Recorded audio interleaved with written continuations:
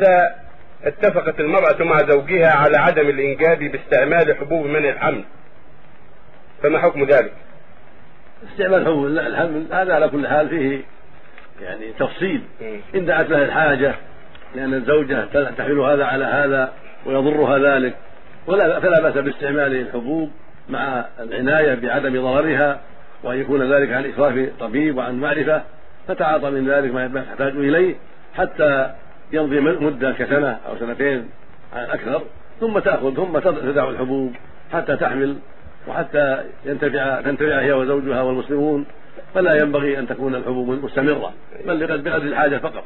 أو لكونها مريضة يضرها الحمل إذا حملت لا لا لا تلد إلا بعمليات ومضرة فتأخذ الحبوب لأجل هذه المضرة العظيمة أو لأسباب أخرى شرعية.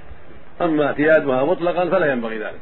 بل هذا يضر المجتمع ويضر الحكمة التي بينها الله جل وعلا على لسان رسول محمد عليه الصلاة والسلام في الحث على الاستكثار من الأولاد لتكثير الأمة.